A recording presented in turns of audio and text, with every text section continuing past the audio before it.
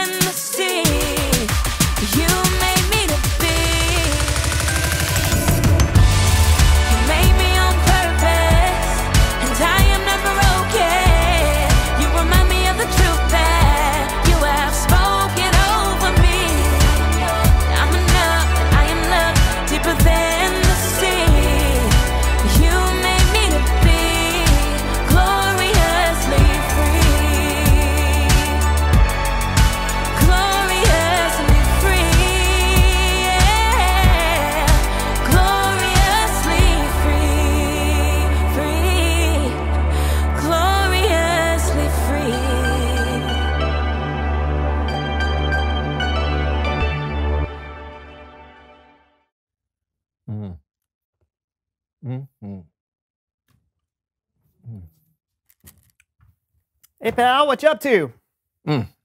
I cannot stop eating these. These are so tasty. Watch out. You are what you eat. What do you mean? Never heard that before. You know, if you eat a bunch of candy, you might end up getting cavities, or if you eat some leafy green vegetables, you might end up running a marathon someday. Luckily, I don't run. Me either. Ah. Mm. Mm. Mm. Still, you're right. I should probably stop eating these and move on to something. Ah, what? What?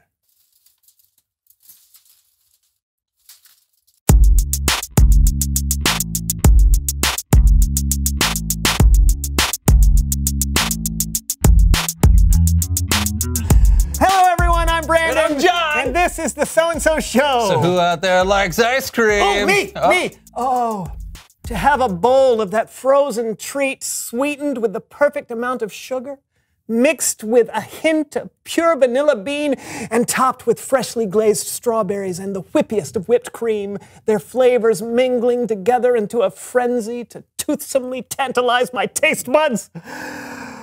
Ah. Sorry, I really, I really love ice cream. I'm a connoisseur, some might say. Yeah, well, the reason I'm asking about ice cream is because, as you may or may not know, the Ice Cream Sundae International Contest is coming up. Oh yeah, the ICSIC. I'm a fan. Yes, yes, it's only for the best ice creamiers in the whole world. I happen to have a gift for making sundaes, so I've entered the competition. Oh, that's great, John. Yeah, thank you. Have you ever entered? Oh no, no, I am not good at making sundaes. I just make a mess. but eating sundaes.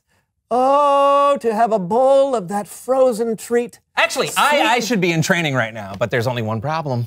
What's that? I'm lactose intolerant. Oh. So if I eat any sort of dairy product, cheese, yogurt, ice cream, milk, I get a bad stomach ache. Seriously. What Yeah. about this?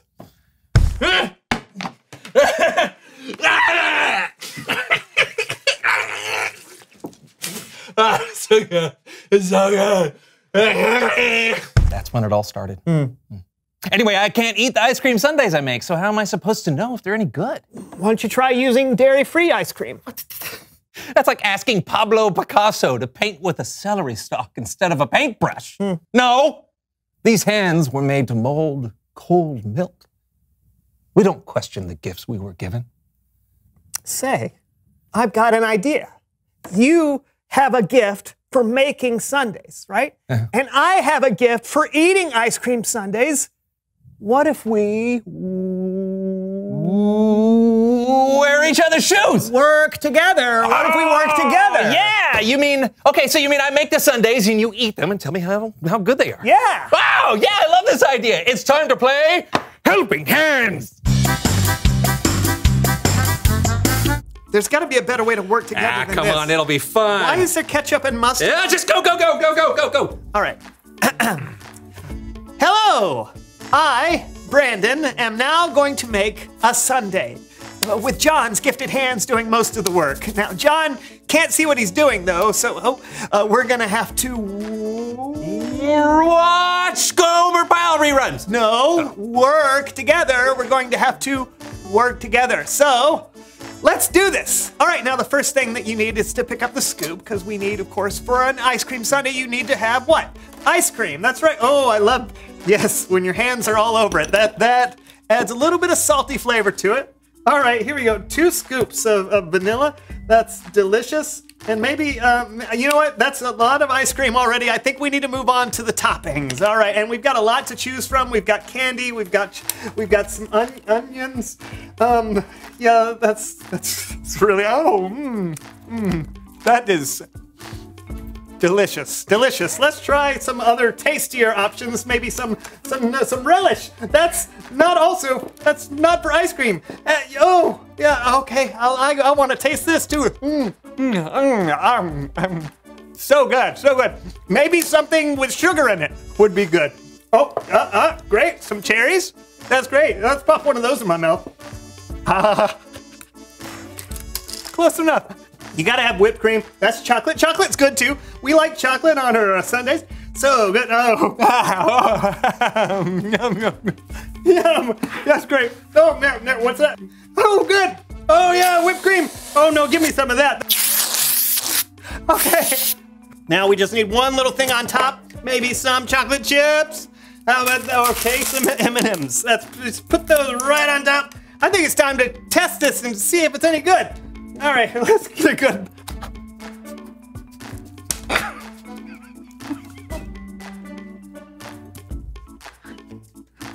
So good. So good. I think we're done. I think we're done. That was Oh, Right. what, what did you think? Did I will I win the contest? not if you put onions on your sundae. Why did you do that? Oh, that's just because next week I'm uh, also in the hot dog making competition, so I thought you know two birds with one stone. Uh huh. Yeah. It's Bible story time with Kellen. Yeah.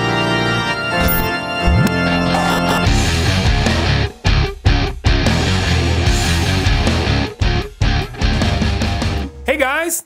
Hey, Kellen. Oh, you've got a little. Oh, thanks, Kellen.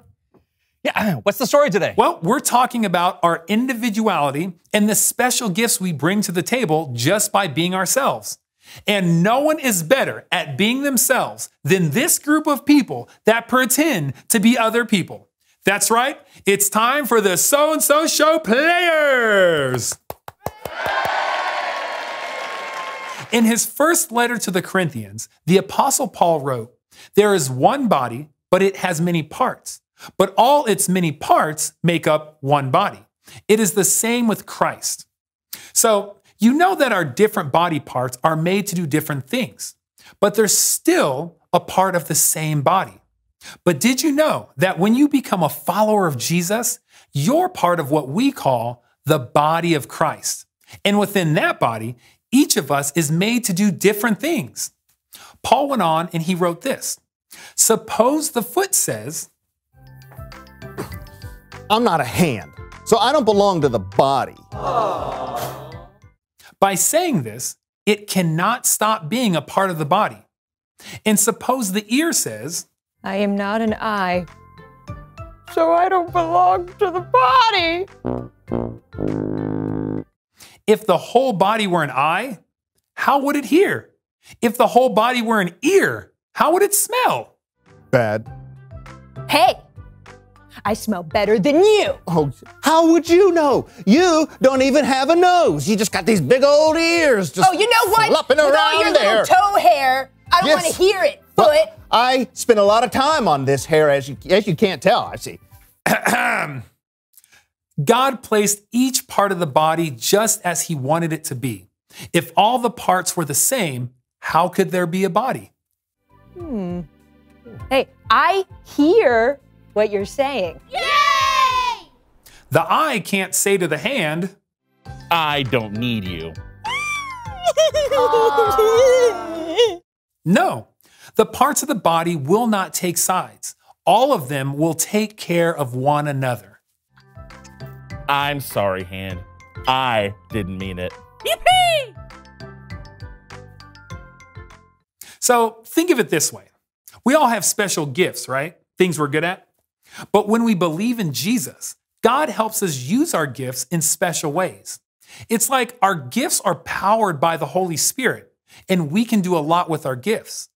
But when we use our gifts together with other followers of Jesus, that's when we really represent the body of Christ.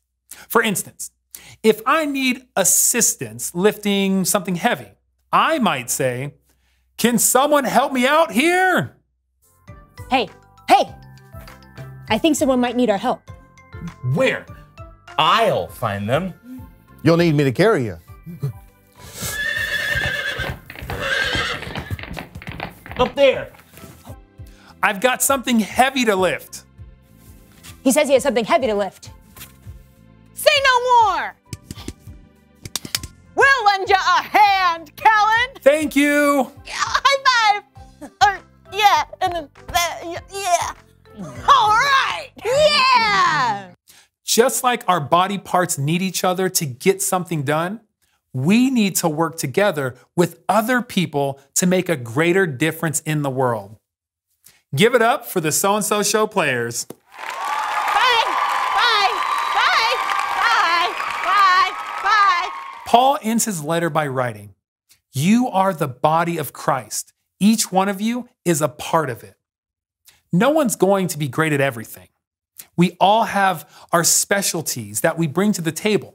For example, I'm good with organization, but sometimes, well, sometimes I procrastinate and I need people's help to get things done. Or maybe you're a nervous talker, but you're a really good listener. Whatever your gift is, find a way to use it with other people. Let's see the body of Christ at work. Thanks, guys. Bye. Bye, Kellen.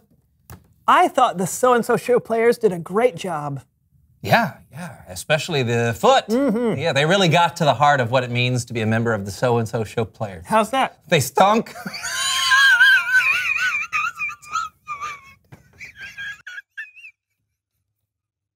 You feel you feel better? Honestly, no, the joy was fleeting. Uh-huh. I have something that can bring back the joy. Oh, go for it. It's time to Recite our nine times tables. Nine times one is nine. Nine times two is no, no, no, no, no. It's time to. Oh, rescue Timmy from the well. Lassie, here, girl. No! Oh, it's time to run a 5K. We're gonna write a great novel. Reveal the question. No! Uh, a- Actually, yes. No. Oh, reveal the question. Today's question is what makes a great team? Uh, for instance, if you're playing basketball, do you just want the five tallest people you can find, or do you want people whose skills actually complement each other? or this show, what if both hosts were exactly like me? I mean, that would be a pretty boring time. I was sort of expecting you to. Talk about it together. Uh, what makes a great team? Yeah, you are going to disagree with me. Until me. next time, I am John. And I'm Brandon. And this was the. So and So Show. Wow, look at the time. No, but I mean, I thought when. Some uh, toppings that I prefer are oh, oh, oh, like the whipped cream. Now this stuff is great. Mm, I love it. Oh yeah, now it's coming. Yeah, look at that. So, so, You gotta get a little bit. Oh, I'm oh, almost. I'm not good at this. Here we go. Oh, whoa, my back caught it. Just gonna put it in there. Mm, um, oh, that's great. Ooh. Oh, yeah, I just can't get enough. Give me more. Oh yeah, don't you don't need a spoon.